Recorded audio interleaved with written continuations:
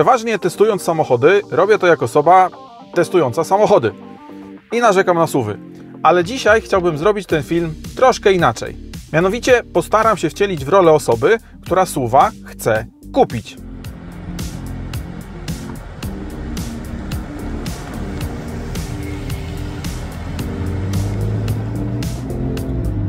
A skoro szuka suwa, to pewnie szuka praktyczności, komfortu i wygody. I teraz powstaje pytanie, czy Cupra Ateca jest w stanie spełnić takie wymagania, dając jednocześnie coś więcej?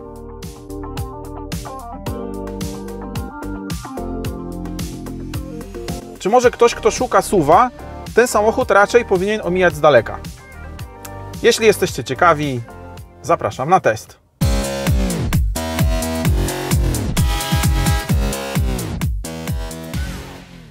Cześć wszystkim! Witajcie w kolejnym materiale na kanale i tak jak powiedziałem, postaram się ten materiał zrobić dzisiaj troszeczkę inaczej, czyli krótko mówiąc, szukamy fajnego suwa. Zamiast na nie zawsze jęczeć i narzekać. Co prawda suwa dla siebie ja nigdy nie kupowałem, więc muszę tu postarać się postawić w roli takiej osoby, a konkretniej przyjąć jakieś założenia, które tacy klienci przyjmują. No, moja wiedza jest o tyle szersza, że ja samochody sprzedawałem, więc widziałem, czego szukają takie osoby. No i oczywiście tu nie trzeba odkrywać Ameryki, żeby wiedzieć, że szukają wygodnej pozycji, łatwiejszego wsiadania, wysiadania, praktyczności, ogólnie mówiąc pewnego komfortu, takiego, którego nie dają na przykład kompakty. I zanim do tego przejdę, to muszę poruszyć pewien aspekt, bo mogłoby się wydawać, że wszystkie suwy dają te zalety, o których przed chwilą wspomniałem. No tylko tu mamy do czynienia z samochodem, który nazywa się Cupra. Jeszcze jakiś czas temu Cupra to były sportowe odmiany Seatów. Jak wszyscy wiecie, od pewnego czasu Cupra jest to oddzielna, wydzielona przez Seata marka, która posiada nawet swoje modele na wyłączność, jak na przykład Formentor. A jakby pokopać głębiej, to Ateca jest pierwszym modelem, która Cupra zrobiła własnoręcznie, czy nie wiem, czy to jest dobre słowo, po prostu zrobiła to pod swoją marką, a nie pod marką Seat.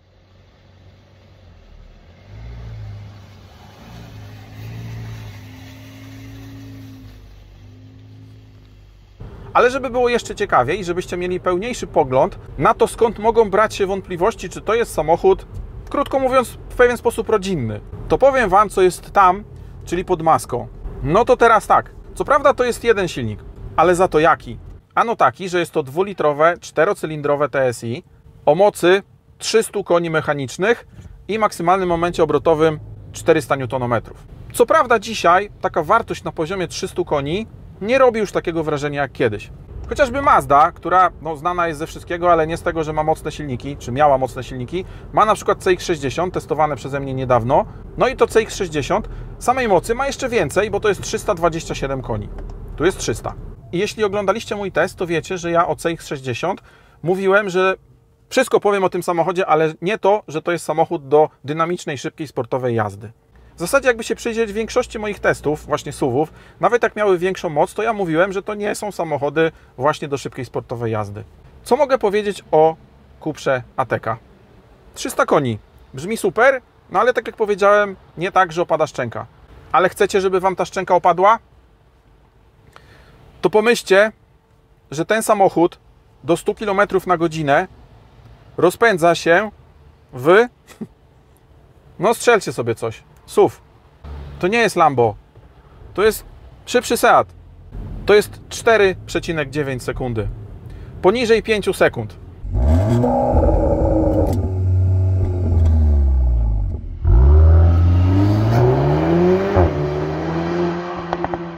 To jest samochód, który nie wstydzi się startować ze świateł, nie wiem, z imprezą STI.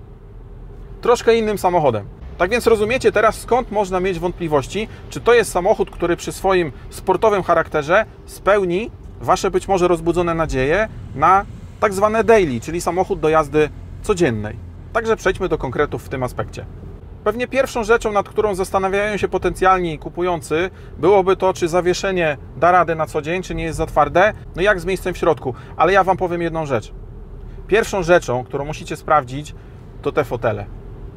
Broń Was, Panie Boże, zamawiać ten samochód bez jakiejś dalszej jazdy, jeśli w ogóle chcecie tym samochodem jeździć gdzieś dalej, ale zwróćcie uwagę, że te sportowe, nazwijmy je kubełkowe fotele, chociaż to nie do końca są kubełki, ale przyjmijmy na potrzeby tego testu, że to są sportowe, kubełkowe fotele. To nie są fotele dla każdego. Przede wszystkim czemu? To nawet nie chodzi o to, że one Was jakoś okalają, mogą być za małe. To oczywiście też, ale pamiętajcie, że te fotele mają zintegrowany zagłówek. I na przykład dla mnie te fotele są super. Tylko, że nie kupujecie samochodu dla mnie.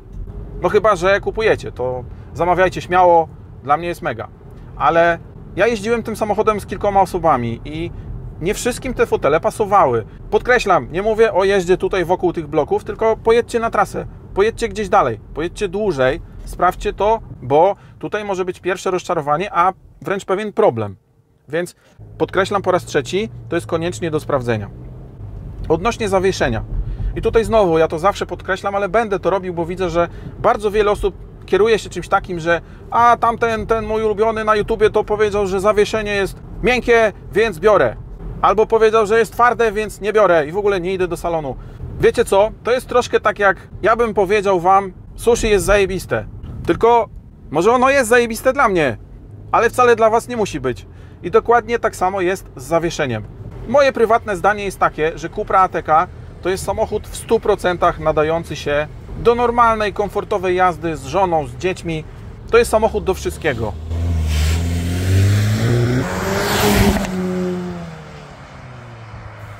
Między innymi z takiego względu, że ma tutaj taki przycisk, który jest znaczkiem Cupra. Po jego naciśnięciu wyświetlają Wam się oczywiście tryby. Ja jeżdżę w trybie Comfort, bo to jest najlepszy tryb do jazdy codziennej. Będę za chwilę przejeżdżał przez próg zwalniający. Zobaczcie. Zero problemu. To nie jest tak, że mnie coś tutaj trzęsie, stuka, puka. Nic takiego nie ma.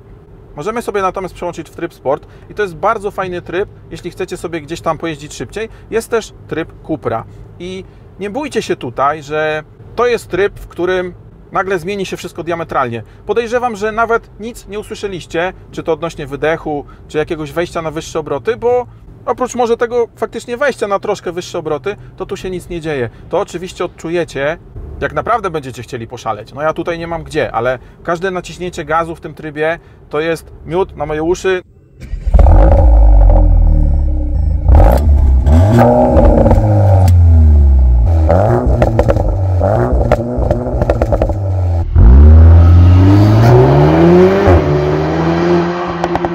Doznania w ogóle sprowadzenia samochodu, bo to jest coś fantastycznego, ale to nadal nie jest taki tryb, w którym nie da się jeździć na co dzień, bo moim zdaniem nawet w trybie Cupra tym samochodem można jeździć na co dzień. I to jest bardzo ważna informacja dla osób, które nad takim samochodem się zastanawiają, ale bały się, że na przykład zrobią kuku żonie czy dziecku, które będzie się męczyć jeżdżąc niby suwem, ale suwem sportowym. To moim zdaniem, podkreślam, moim zdaniem zupełnie tak nie jest i pod tym względem to jest samochód bardzo uniwersalny.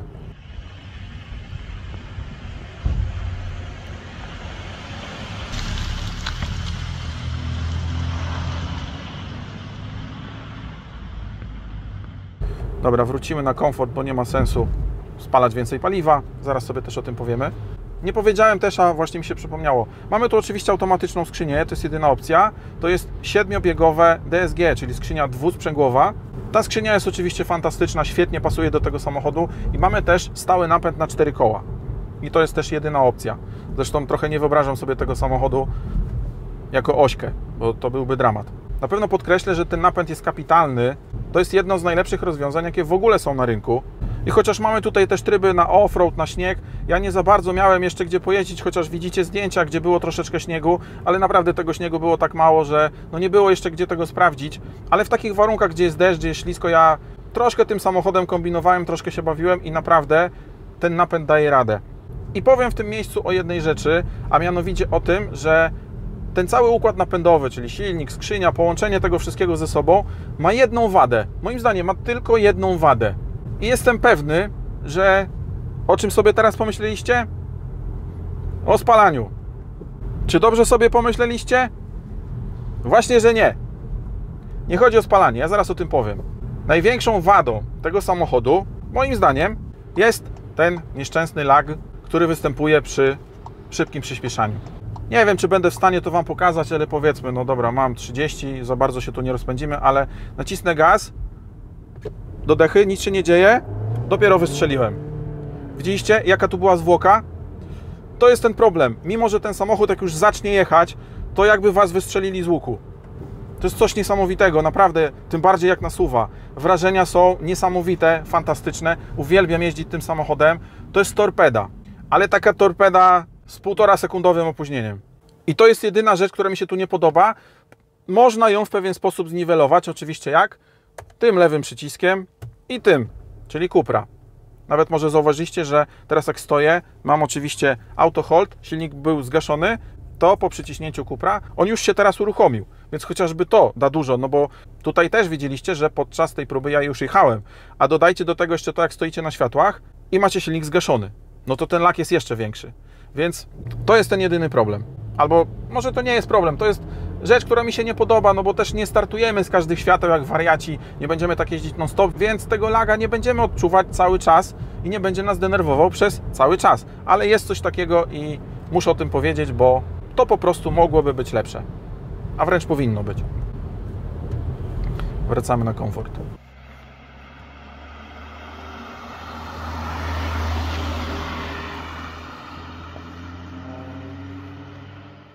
No ale dobra, słowo się rzekło o tym spalaniu. Spalanie jest problemem tylko i wyłącznie na jednej drodze, czyli na autostradzie. No może jeszcze na ekspresówce, chociaż tutaj mniej.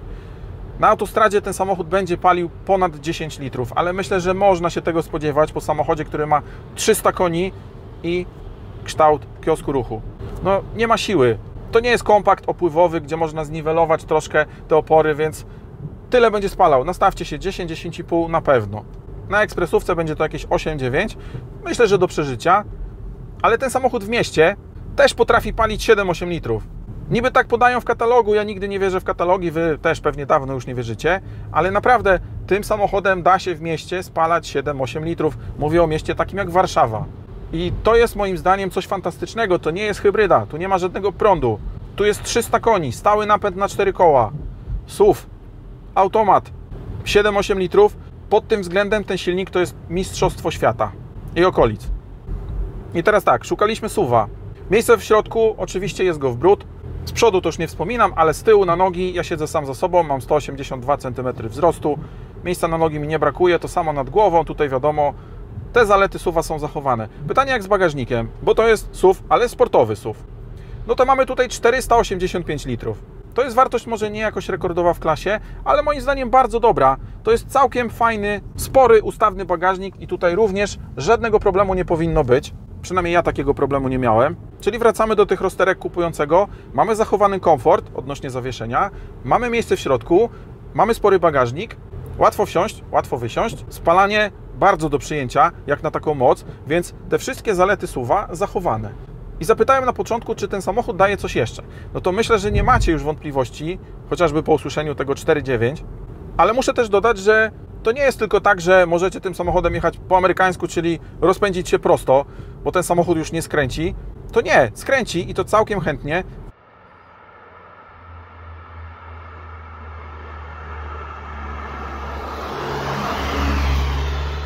To nie jest oczywiście poziom jakichś sportowych hot hatchy, to jest jasne, ale prowadzenie tego auta, to jak ono reaguje na ruchy kierownicą, to co wyczujecie, chcąc wjechać w zakręt, czy na przykład nie wyrzuca Was gdzieś na pobocze, bo jedziecie wysokim autem, to nie, zupełnie się tego nie bójcie. Pod tym względem Cupra ATK to samochód, który przyjemnością prowadzenia i taką precyzją może nie dorównuje, ale nie jest za daleko od właśnie kompaktów. To naprawdę robi duże wrażenie, jak to wszystko zostało zestrojone, jak to zostało zrobione. Pod tym względem naprawdę świetny wybór. Macie wszystkie zalety suwa, a jednocześnie bardzo dużo przyjemności z jazdy. Czyli takie dwie rzeczy, które wydawałoby się, że bardzo trudno połączyć. Znaczy, nie wydaje się, to jest bardzo trudno połączyć, ale tu się udało.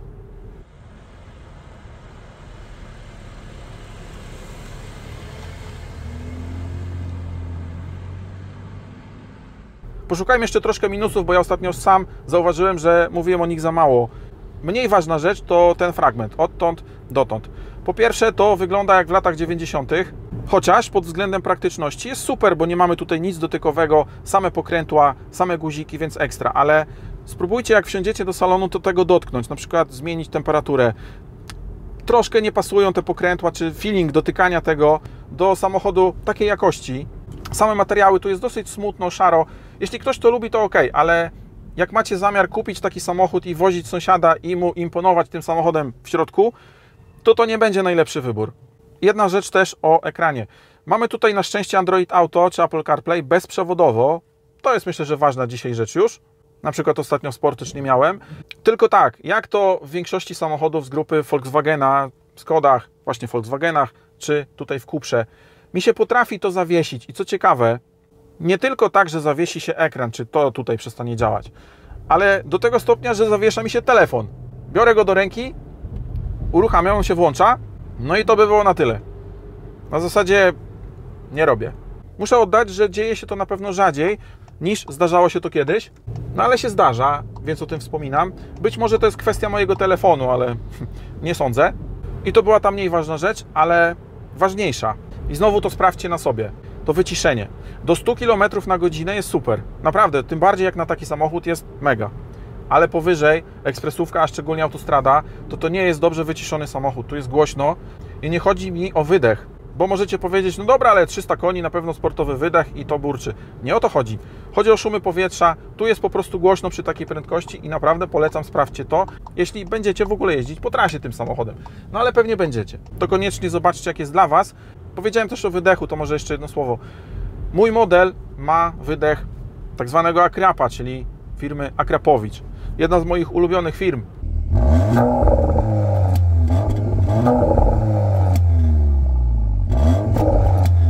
On kosztuje chyba z 15 tysięcy. Czy warto tyle wydać? Nie warto, ale jak nie macie co robić z pieniędzmi, to ten wydech zamówcie. On po pierwsze wygląda świetnie, po drugie na pewno brzmi dużo lepiej niż seryjny wydech w Kuprze, który po prostu nie brzmi za dobrze. Do tego stopnia, że nawet w trybie Kupra, jak będziecie się mocno rozpędzać, odpuścicie gaz, to będzie strzelał. Popcorn niby można prażyć. Wygląda to tak. Nie wiem, czy usłyszeliście. Myślę, że fajna rzecz, ale nie taka, żeby słychać Was było na całym osiedlu i nie będzie to robiło jakiegoś ogromnego wrażenia na Was, ale jaki jest plus?